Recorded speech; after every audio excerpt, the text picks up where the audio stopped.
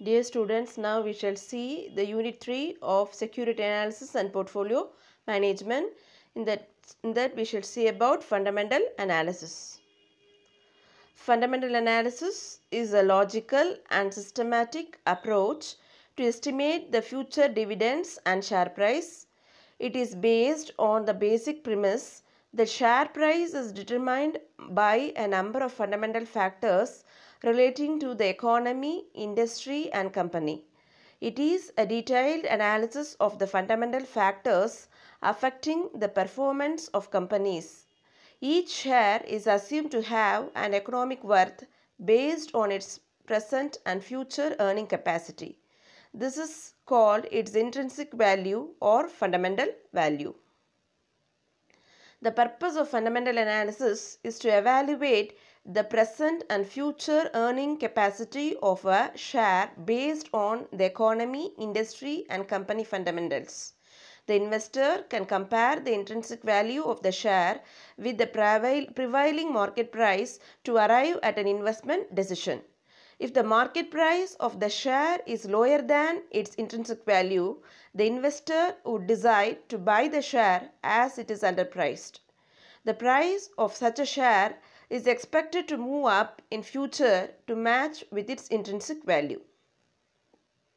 When the market price of a share is higher than its intrinsic value, it is perceived to be overpriced.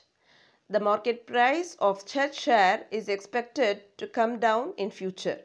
The investor would decide to sell such a share. Economy, industry, company analysis framework. The analysis of the economy, industry and company fundamentals constitutes the main activity in the fundamental approach to security analysis. The logic of this three-tier analysis is that the company performance depends not only on its own efforts but also on the general industry and economy factors. The multitude of factors affecting the performance of a company can be classified as economy factors such as growth rate of the economy, inflation rate, foreign exchange rates, etc., which affect all companies. Industry factors such as demand supply gap in the industry, the emergence of substitute products, changes in government policy relating to the industry. Company specific factors include elements such as the age of its plant, the quality of management, brand, brand image of its products, its labor management relations, etc. Steps in fundamental analysis. Number 1 economic analysis, next industrial analysis and third company analysis. Now we shall see about economic analysis. The performance of a company depends on the performance of the economy. If the economy grows rapidly, the industry can also be expected to slow, show rapid growth and vice versa. When the level of economic activity is low, stock prices are low and when the level of economic activity is high, stock prices are high, reflecting the prosperous outlook for sales and profit of the firms. A study of these economic variables would give an idea about future corporate earnings and the payment of dividends and interest to investors. The following are some of the key economic variables that an investor must monitor as part of this fundamental analysis. Growth rate of national income, inflation, interest rates, budget, the balance of payments, infrastructure, climatic factors like monsoon, etc., economic and political stability. First, we shall say about growth rate of national income. GNP, gross national product, NNP, net national product and GDP, gross domestic product or the different measures of the total income or total economic output of the country as a whole. The growth rates of these measures indicate the growth rate of the economy. The estimate of GNP, NNP and GDP and their growth rates are made available by the government from time to time. An economy typically passes through different phases of prosperity known as the different stages of the economic or business cycle. The stage of the economic cycle through which a country passes has a direct impact on the performance of industries and companies. While analyzing the growth rate of the economy, then an investor would do well to determine the stage of the economic cycle through which the economy is passing and evaluate its impact. Next, inflation. Inflation has considerable impact on the performance of companies. High rates of inflation are likely to affect the performance of companies adversely. Industries and companies prosper during times of low inflation. Inflation is measured both in terms of whole prices, wholesale prices through the wholesale price index and, and in terms of uh, retail prices through the consumer price index. Interest rates determine the cost and availability of credit for companies operating in an economy. A low interest rate stimulates investment by making credit available easily and cheaply. It implies lower cost of finance for companies and thereby assures higher profitability. Higher interest rates result in higher cost of production which may lead to lower profitability and lower demand. The interest rates in the organized sector of the economy are determined by the monetary policy of the government and the trends in the money supply. An investor has to consider the interest rates prevailing in the different segments of the economy and evaluate their impact on the profitability of companies. Next, budget. The budget draft provides an elaborate account of the government revenue from an expenditure on various factors or uh, various sectors a deficit budget may lead to high rates of inflation and adversely affect the cost of production. A surplus budget may result in deflation. Hence, balanced budget is highly favorable to the stock market. The balance of payments. The balance of payments is the record of a country's receipts from and payments to be made abroad. The difference between receipts and payments may be surplus or deficit. Balance of payments impacts the strength of the country's currency. If the deficit increases, the currency may depreciate against other currencies, thereby affecting the cost of imports. Forex rate Industries involved in exports and imports are considerably affected by the changes in foreign exchange rate. The volatility of the foreign exchange rate affects the quantum of investment by foreign institutional investors in a country's stock market. Next, infrastructure. The development of an economy depends very much on the infrastructure available. The availability of infrastructural facilities such as power, transportation and communication systems affects the performance of companies. An investor should assess the status of the infrastructural facilities available in the economy before finalizing his investment plans. Climatic factors the performance of agriculture to a very great extent depends on factors like the monsoon. The adequacy of the monsoon determines the success or failure of the agricultural activities in many countries. The progress and adequacy of the monsoon becomes a matter of a great concern for an investor in the Indian context. Economic and political stability the stable political environment is necessary for steady and balanced growth. Stable long-term economic policies are needed for industrial growth.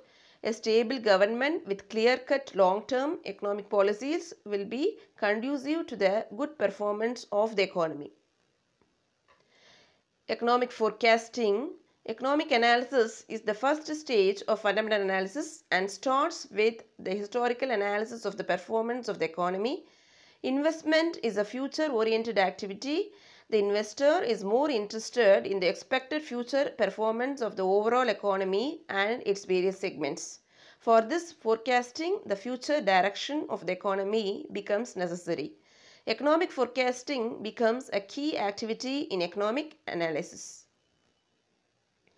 The central theme in economic forecasting is to forecast the national income with its various components. GNP is a measure of the national income. It is the total value of the final output of goods and services produced in the economy. It is a measure of the total economic activities over a specified period of time and an indicator of the level and rate of growth of economic activities.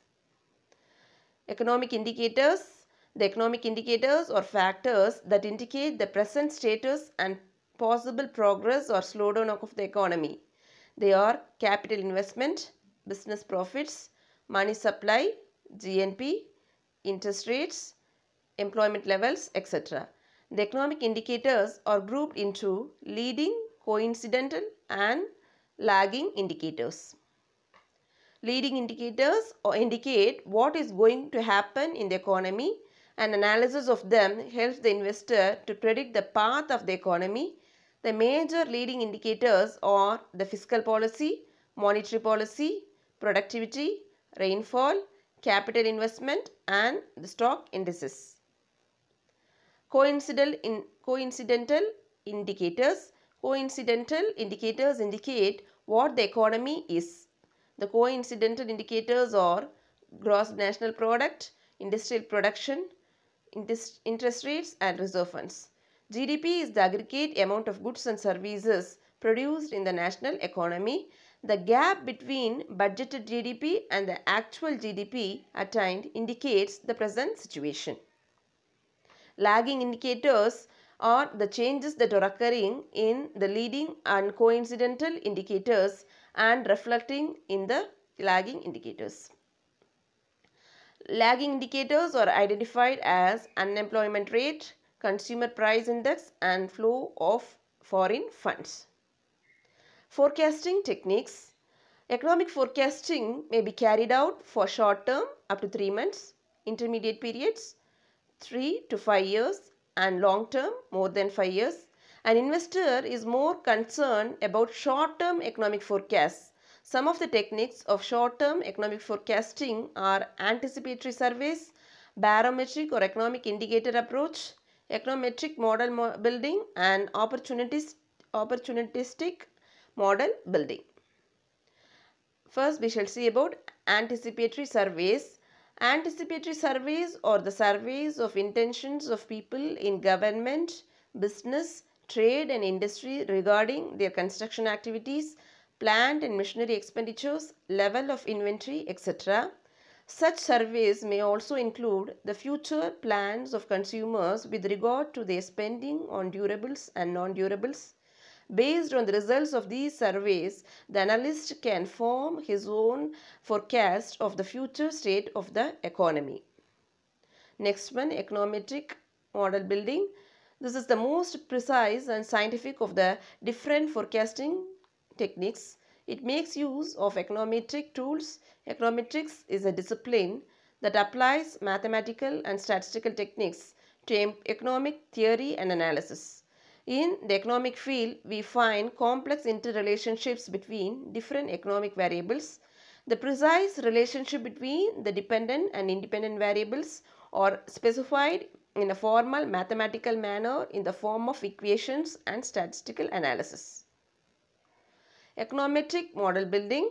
In applying this technique, the analyst has to define clearly and precisely the interrelationship between the economic variables. Econometric models used for economic forecasting are generally complex. Vast amounts of data are required to be collected and processed for the design of the model and its application to empirical situations. This may cause delay in making the results available and involve time and cost.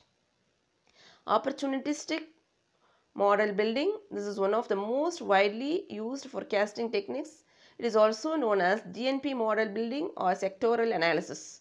Initially, an analyst estimates the total demand in the economy, present and future and based on this, he estimates the total income or GNP for the forecast period.